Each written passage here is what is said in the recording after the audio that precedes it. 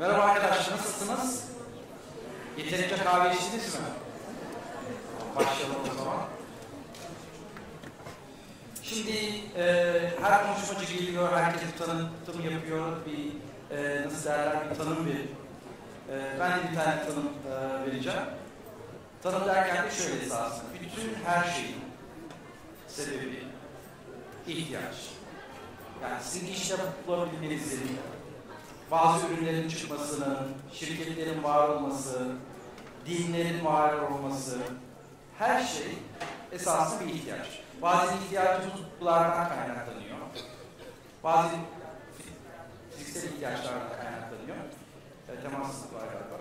E, ama sonuçta hep bir ihtiyaç var ortada ve ihtiyacı çözen, diğerlerinden daha iyi çözen, daha erişilebilir kılan kazanıyor. İşte GE öyle bir şirket. Ee, bakmışsanız tarihçisine vesaire, işte 130 yıldan beri ayakta kalan, ee, işte Wall Street'te mesela bakıyoruz ya Stock Exchange var, yani borsası. O borsayı ilk kurduklarında GE var, birkaç tane daha şirket var. O zamandan bu zamana, yani ilk listeden bugüne kalan tek şirket GE. Peki GE bunu nasıl başarıyor? Bir sürü istatistiklere bakabiliriz. Ama önemli olan esasında az önce söylediğim gibi zaman ne olursa geçmişte böyle olduğu gibi şimdi gelecek ilgisi takım meslek kaygılarınız olabilir. Hangi ülkede yaşayacağım, hangi şehirde yaşayacağım, hangi şirket yap vesaire gibi. Bunların hepsinin gelen kökünde siz kendiniz adapte olabiliyor musunuz? İhtiyaçları anlayabiliyor musunuz? Ve ihtiyaçları aldıktan sonra diğerlerinden daha iyi şekilde çözüm üretebiliyor musunuz? İşte burada görüyorsunuz örnekleri. Gerçekten G'nin e, tarihçisi, tarihi e, şanlı zaferlerle dolu. Osmanlı gibi. E, işte ne bileyim en küçük cep telefonu kadar olan e, ultrasondan tutun da e, daha öncesinde işte bilgisayar tomografi, MRI ile ilgili, işte uçak motorları ile ilgili hep ilkleri, iyileri hep yapmış durmuş. Tabii bu kolay olmuyor. E, zaman değişse de teknoloji değişmeyecek. Ama her zaman her zaman onun içerisinde insan olacak. Hazır insanlar lafı açmışken bu şanlı tarihi dolduran e, bir hatıra fotoğrafına bakalım.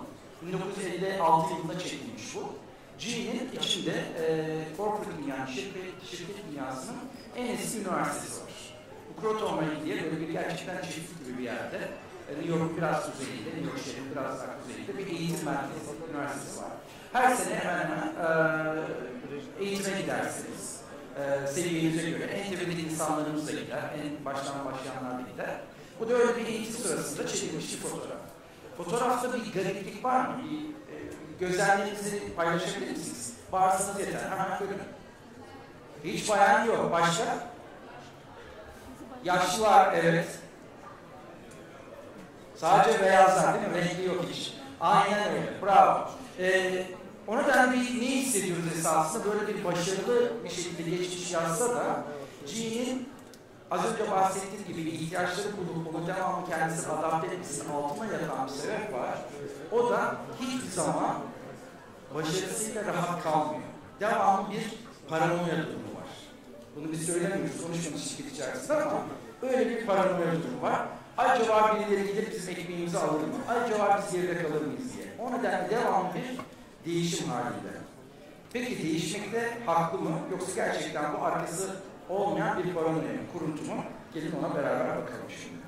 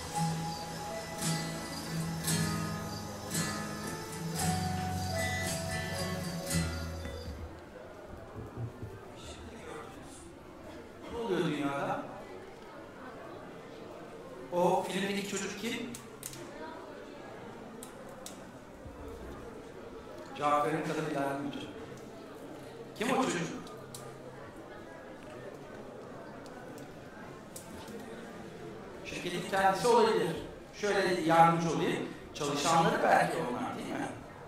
Başka ne olabilir? İnovasyon yapanları olabilir. Tamam, doğru. Başka kim olabilir?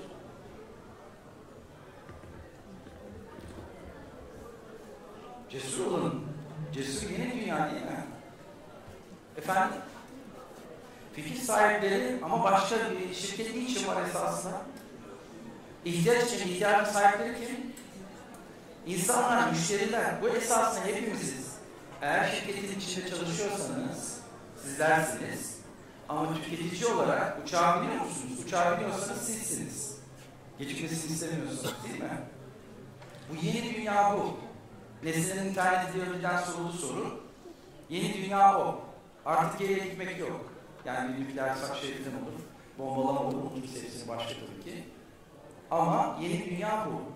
Şimdi yeni dünyada GE ya da başka şirketler ya da sizin gibi köklü üniversiteler ya yerini alacak ya da yok olup gidecek. Tamam mı?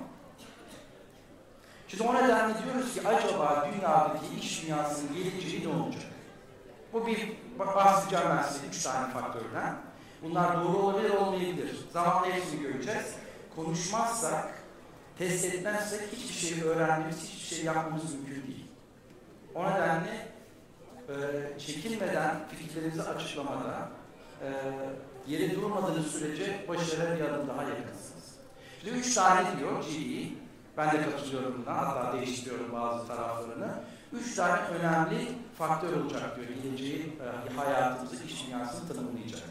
Bunlardan bir tanesi entegrede dediğimiz harika makineler.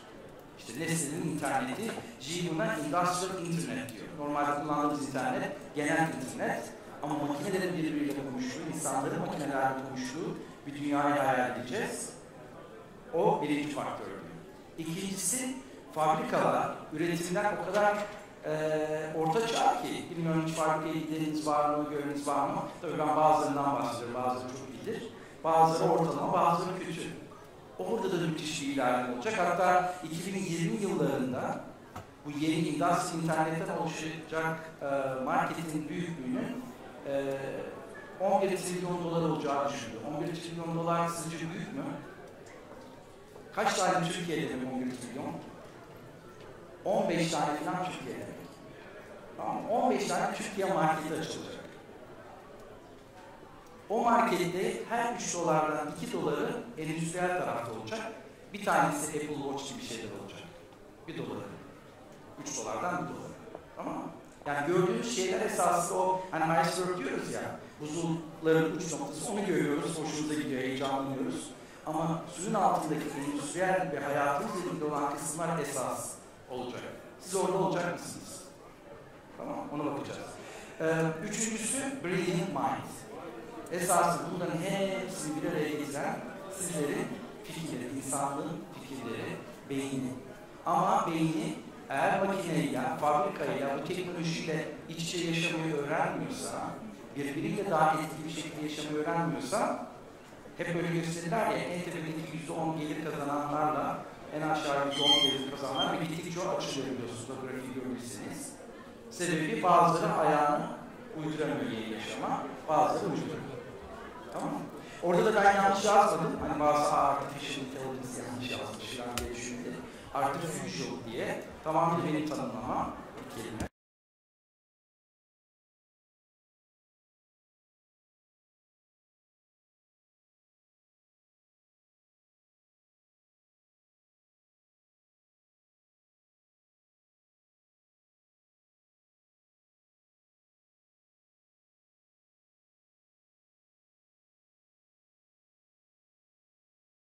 Brilliant Minds. İlk. Bakalım bu internet, internetin nasıl tanımlıyor, nasıl görüyor? The industrial internet is here. Brilliant machines are talking, listening, and responding. They're using big data and analytics to drive industrial efficiency and productivity. What makes it all work together? Predix. Predix is the software platform for building and managing industrial internet applications. Predix enables organizations across all industries to optimize assets and operations. Predix's highly secure and scalable architecture supports machine intelligence and big data analytics from the smallest machines to the biggest clouds. Here's a closer look at how Predix works. This train is not traveling alone. Machines are at work in the most unlikely places. Software machine apps run on them, making continuous adjustments. Sensors collect real-time environmental data and changing track and weather conditions to adjust rail adhesion. Just as your smartphone runs apps that do all kinds of useful things, Predix enables a standard way to develop apps that run on machines and make them brilliant. Applications built on Predix look at what is and what should be across a fleet-wide ecosystem. Problems are spotted, technicians alerted, parts are waiting for the train. Predictive maintenance is completed. Let's see how. Predix's big data analytic infrastructure aggregates a wealth of data from diverse sources. Predix's software orchestrates assets, data, and operations to enable advanced predictive maintenance. A replacement train has already received the locomotive data and is ready to complete the journey. Through the power of Predix, data from machine apps can now get exactly where it needs to go, from the locomotive and cars to on-premise servers in the rail yard to high-performance clouds. With Predix, developers can make current machines brilliant and enable big data analytics at the machine level, in the cloud, and in between. Always on costs and risks are reduced, and machine longevity is increased. At a wind farm, a turbine is performing below optimal levels. Predix machine apps and advanced analytics compare data from the turbine's individual performance history and from the rest of the farm. Predix's distributed computing and analytics work where they are needed across the entire operation. The real-time onboard analytics at a turbine collects sensor data to optimize the pitch of its blades. At the farm level, Predix's real-time analytics evaluates the farm's operational. A wind farm operator can securely access farm-level operational insight at his desk. Process and asset algorithms help people make decisions regarding maintenance, parts, and logistics. People at each level have much of the information they need to make better decisions. At the same time, on the ground, an authorized technician can see individual turbine data on a Predix-enabled tablet. More than just wind powers this farm. GE created Predix to power a new generation of industrial internet solutions. For developers, Predix offers one architecture with the flexibility to bring together analytics and big data to make machines brilliant and empower people at work. For businesses, Predix-enabled solutions have the speed, scale, and security to translate the industrial internet into powerful insights and new business models. We invite you to consider the possibilities.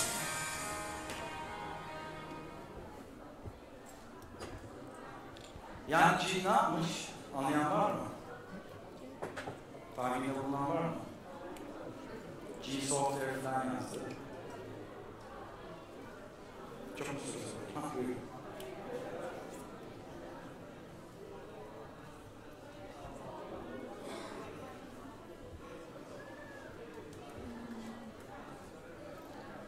Evet çok güzel ama bunların hepsini bir araya getirmek için bir Predix Predix diye bir şey söyleyip durdu. Neymiş o Predix?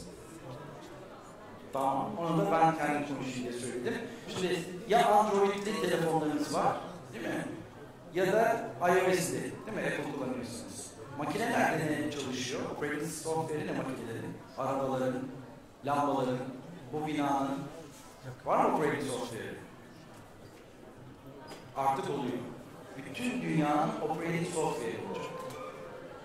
Google, Apple, belki adını duymadığınız şirketler ve GE, dünyanın operating software'i ne olacak diye savaşıyorlar. Tamam Yeni dünya o dünya. Operating software bütün hepsi birbirine birleşecek. Sizler de istiyorsunuz Predix'i şu anda bize App Store gibi açıyoruz. Predix Store oluyor. Sizler de development yazıp yapabiliyorsunuz, application'lar yazabiliyorsunuz. O rüzgar türbinlerini, lokomotifleri, uçakları, hastanelerin her biriyle ilgili application'lar yazabiliyor olacaksınız. İsterseniz tabii. O nedenle G ne yaptı? Bundan bir buçuk sene kadar önce tamamıyla yeni bir merkez açtı. Bu ünlü Silikon Vadisi var ya, orada. Ee, 1500 kişi aynı anda işe aldılar. İçinde antropologlar var, sosyologlar var. Çünkü user interface, man-machine interface çok önemli. Değil mi? Kullanılmazsa hiçbir şey yaramaz. Tamamıyla sıfırdan Predix dedikleri operating software yazdılar. Bazı ürünlerimiz içerisine Predix'i koyduk. O nedenle onlara Predix Machines diyoruz. Biraz sonra fabrikalardan bahsedeceğim. Fabrikaların da içine koyuyoruz Predix'i. Onlar da Brilliant Factories oluyor. Bu ins- insanlar da Predix'le çalışmaya başlıyor. Brilliant Mind oluyorlar. Tamam mı? Bugün saptığım mesaj o. Predix is good. Tamam mı? Ve o nedenle de daha sonra bunları geliştirdi. Şimdi tek başına böyle bir şirketi yoktu GE'nin. Sağlık, enerji vesairesi vardı. GE Digital diye yepyeni bir şirketi var şu anda.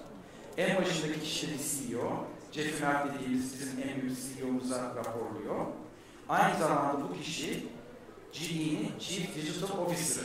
Yeni bir iş çıktı. Yoktu Chief Digital Officer. IT Support vardı. Chief Information Officer oldular. Şimdi Chief Digital Officer çıktı. Chief Digital Officer CIO'ya yeni isim değil. CIO'lar hala olacak belki. Chief Digital Officer'lar bu değişen dünyanın digital şefleri olacak. Belki sizlerden birisi.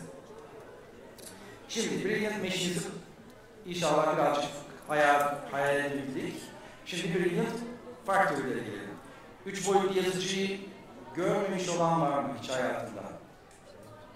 Utanmayın. Ha, görmedik değil mi? Tamam. Biraz bakacağız şimdi onlara. Böyle de kalp falan bastığı yok. Şaşırtıcı.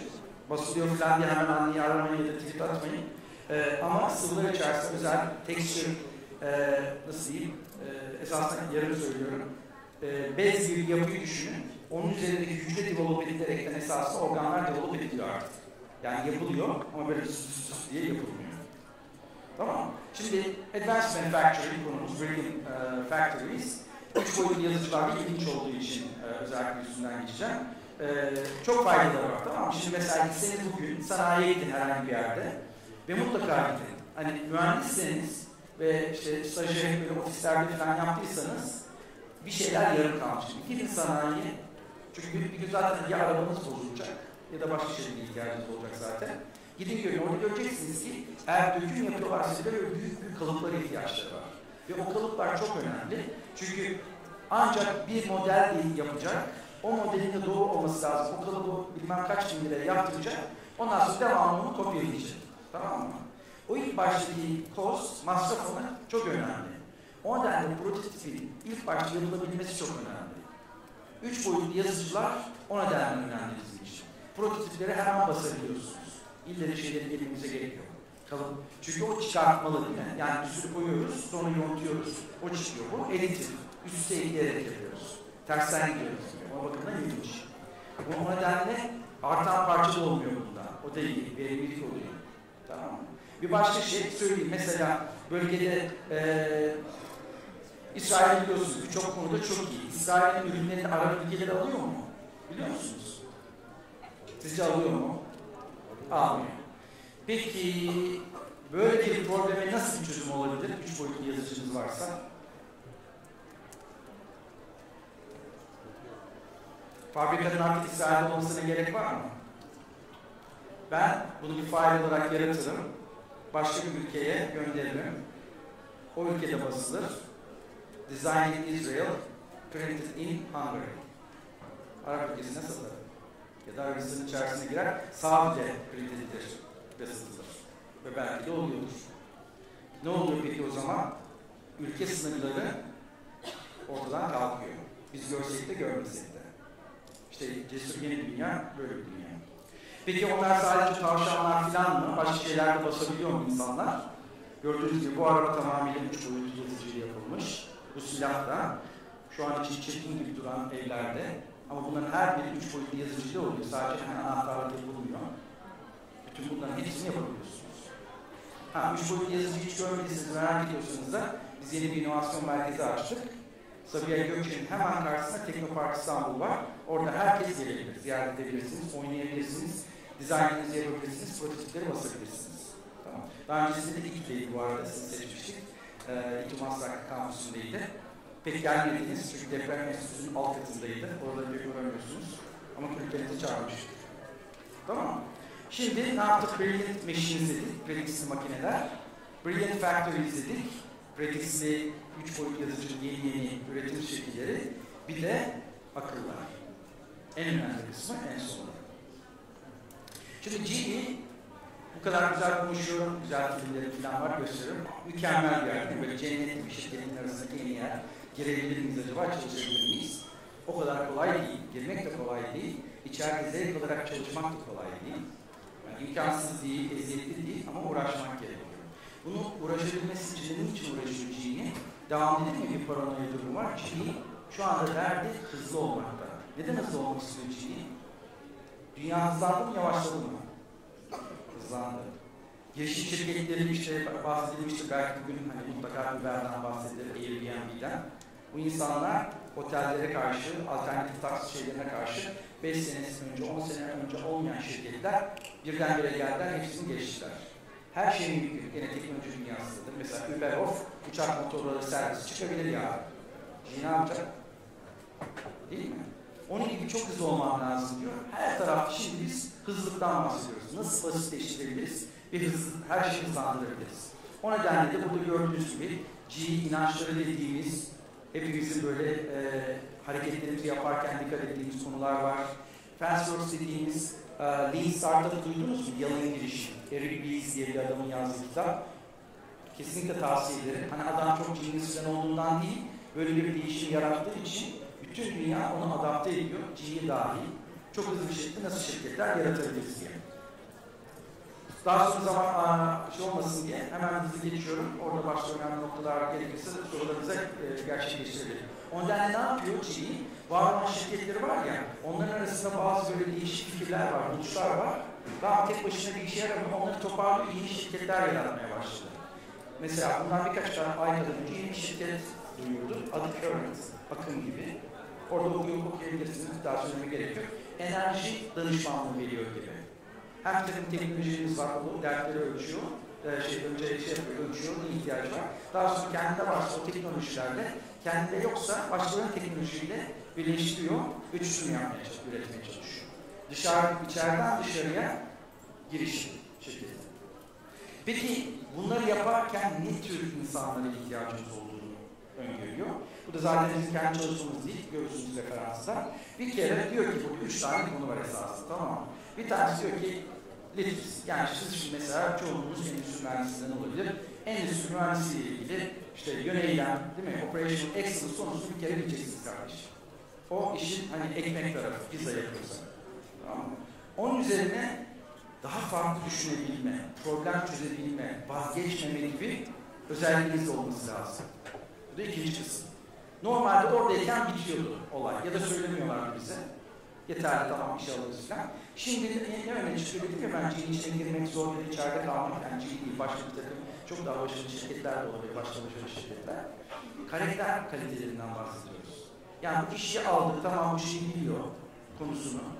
E, zorlayınca bir işiyle problem de çözüyor. Ama diğer takımla başkalarıyla bu insan çalışacak mı? Yoksa DNA'mız onu itecek mi dışarıya? Ya da onun DNA'sı bizi itecek? Hani organ nakli yapıyoruz ya. Organ çalışıyor, iyi organ falan ama vücut itiyor. Onun gibi. Demek ki hep böyle IQ'dan bahsedilir. EQ dediğimiz özellikler ortaya çıkıyor. Tenis oynayanınız varsa bu sağ elinizi kullanıyorsanız sol elinizi kullanıyor musunuz demek. Mühendisseniz sol beyninizi kullanıyorsunuz normalde hani sağ falan science mi? Sol elinizi kullanıyor musunuz? Sağ beyninizi kullanıyor musunuz yani? Her şeyinizi kullanacaksınız. Erkekleriniz çalışıyor, bayanlarınız çalışmıyor mu ülke olarak? Geride kalacaksınız. Gibi. Tamam? Sonra sizleri araştırıyorlar. Durmadan sizleri araştırıyorlar. Tamam mı? İşte millennials var, bunu ister efendim, bunu ister falan. Yani biz de bunu istiyorduk esasında. Bize soran yoktu. Yani Generation Y ile Eksinin arasındaki fark yok. Size soran yoktu. Siz en azından konuşuyorsunuz, siz şey yapıyorlar. Esas eksilerin hiç sormadıkları için ondan biz çocuklarımızı sizlere soruyoruz. Siz ondan konuşuyorsunuz. Benim evimde Generation Z'ler var. Ya da N'ler, nothing diyorlar onlara. Ama onlar çok daha farklı olacaklar. Belki sizden de farklı olacaklar. Ama sonuçta şöyle diyorsunuz siz. Ya kardeşim ben adam gibi, insan gibi çalışmak istiyorum. Benim tepemde patronluk yapma. Beraber çalışalım. Hızlı olalım. Benim yetilerim var, onu kullan. Beni sınırlama, kurallarla sınırlama diyorsunuz. Evet doğru söylüyorsunuz. Ve şirketlerin de bunu anlayıp ona göre sizleri içine alması lazım. Ha bazen şöyle olacak deniyor. Şirketlerde çalışmak istemeyeceksiniz belki. Bundan sonra demiyor ki işte 15 yıl sonra belki işte evli benim çocuklar. Ortalama olarak bekleniyor ki mesela benim babam askerdi. Başından sonuna kadar aynı şirkette aynı pozisyon gibi düşünebilirsiniz. Devlet için çalıştı. Ben de devlet için çalışmayacağım. Özel şirkette çalışacağım. Ve belki birkaç tane şirkette çalışacağım. Değiştirerek yani. Bizim jenerasyon belki sizden başlar ve sonraki jenerasyon aynı anda 3-5 şirkette çalışacağı öngörülüyor. Tamam. Farklı bir sistem değil mi? Şimdi Türkiye'de ne yapıyorsunuz? Bunlar çok güzel. Amerika uzayına gidiyoruz, ileri bir yaşam düşünebilirsiniz. Gelin yerel ayağımız bassın Türkiye. Biz Türkiye'de ne yapıyoruz GEO'ya? Anladık ki herkese iş vermemiz mümkün değil. Sadece yapmak isteyeceksiniz, o kadar yeriniz olmuyor. Gelip bir işe girmek isteyeceksiniz, o kadar yeriniz olmuyor. Şimdi bu kadar akıllı insanı dışarıda mı bırakalım biz? O nedenle tamamıyla Türkiye'ye özgü bir model geliştirdik. Şimdi ben gelecek hafta Amerika'ya gidiyorum. G çapında bunu yaygınlaştırabilir miyiz diye. Tamam. Ne yaptık? Girişim yarışmaları yapıyor ya. Şimdi moda halinde inovasyon yarışmaları yapıyor. Üniversiteler yapıyor, şirketler yapıyor vesaire. Yapılsın çok güzel bir şey. Dedik ya denemeden yanılma olmaz, öğrenme olmaz. Ama bir şey, sonuçta bir şeyler çıkıyor ama takibini getiren yok. O nedenle biz önce kendimiz yaptık. Sonra ODTÜ'yle yeni fikirler, yeni işler yaptık. TÜBİTAK'la yaptık. Böyle 11 tane falan fikir oldu. Hep konularımız belli. Sağlık, enerji ve nesnenin interneti. Ondan sonra bu arkadaşları bırakmadık. Dedik ki siz finale kaldınız, ödül aldınız vesaire. Yeni şirket kurun. Biz size yardımcı olacağız. O nedenle içeride gönüllü coaching, mentoring and training dediğimiz Comet dediğimiz arkadaşlar yarattık. Comet kuyruklu yıldız demek İngilizce aynı zamanda. Şu an 140'ın üzerinde startup girişim şirketimiz var havuzumuzda. Bunlar başkalarıyla da paylaşıyoruz. Tamam mı? İçerideki arkadaşlarımızla birebir o komitlerle birebir eşlendiriyoruz ve onların olgunlaşıp ya müşterilerine çıkıp satış yapmalarını sağlıyoruz ve veya yatırımcıların önüne çıkmalarını sağlıyoruz. Şu anda da yakında duyuracağız. Birkaç tane yerli yatırımcıdan para almış yerli şirketimiz oldu sıfırdan. Nedir bu? Gene bir şirketin brilliant mind'lara ulaşmak için yaptığı bir model. Şirketin içinde yeri yok ya da bazı eksperimentleri, deneyleri dışarıdaki başka fikirlerle yapabilir. Bağlantınızı birazcık ince bir şeyle yapıyorsunuz, kabloyla yapıyorsunuz. Yatırım olabilir, başka türlü beraberlikler olabilir. Zaman olarak 4 dakika, güzel. İki diyeceğim bu kadar. Hani öldüm ya da bir takım şeyler, ilginç şeyler anlatmaya çalıştım. G'ye sizin gibi brilliant mind'ların giriş yolları, kapıları nerelerde? Hani top kapı, un kapı, eline kapı? Şimdi değişik leadership programları var. LP demek leadership program. Bunlar çok güzel programlar. Keşke benim zamanımda olsaydı bazı, ya da bilseydim ve bilseydim. İşte commercial leadership program, bir iki senelik e, şeyden sonra, mezun olduktan sonra girebileceğiniz ve bir iki yıllık e, tecrübenizle girebileceğiniz program. Experience Commercial Leadership 4-5 senelik e, ve bir master gerektiriyor. CRBP Communication ile ilgili iletişim, hani pazarlama, pazarlama e, iletişim, PR vesaire gibi. HR, insan kaynakları, IT anlıyorsunuzdur. E, EDB, mühendislikle ilgili Edison Engineering program, efendim finance ile ilgili. Finance küçük görmeyin, şirketlerdeki para e, kasanın anahtarı onlarda olduğu için e, o da önemli bir kritik noktadır e, yaptıkları bazı işler da olsa oldukça etkili göreve sahipler. Tabii bir staj e, şeylerimiz var, imkanlarımız var. Burada bir arkadaşım zaten bana sunumda Berkay yardımcı oldu. Çok şey zaten onun imzasıyla burada yer aldı. O da mesela bizimle beraber bir süredir e, elektronik yapıyor. Onun gibi diğer arkadaşlar da var. Kendisiyle konuşabilirsiniz. Onun yanı sıra az önce gösterdiğim gibi girişim şirketleri var. Girişim şirketleri dolu hatta girişimcilik vakfı var. Sina Afro'nun kurduğu çok güzel bir program. Bilmiyorsanız lütfen bakın. Ee, onlarla beraber de dışarıdan proje yapıyoruz. Hatta bazı girişim şirketlerimize onlar proje yaptılar. Bizle ilgili proje yaptılar. Mesela patent pazarı kuruyoruz. Bursa İstanbul'da beraber. Üniversitelerden patentler, şirketlerle patentler aynen bir sebze pazar yeri gibi alınıp satılabilsin diye bu tür şeyler bize yardımcı oldular. Nesnenin interneti konusunda projeler yaptılar. Onlar da yardımcı oldular. diyorum. Ve burada beni dinlediğiniz için teşekkür ediyorum. Sorularınız varsa almak istiyorum.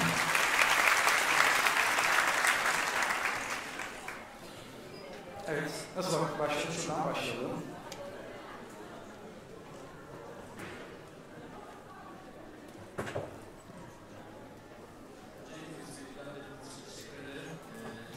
Mezun olduğunuz bölüm makine mühendisliği fakat şu an Dil makine, yanlış gitti diye düzeltip elektrik mühendisi. elektrik mühendisliği içerikte fakat global e, yatırım rektörlüğü yapıyorsunuz. E, bir de yaptığınız işte mezun olduğunuz bölüm arasındaki ilişkine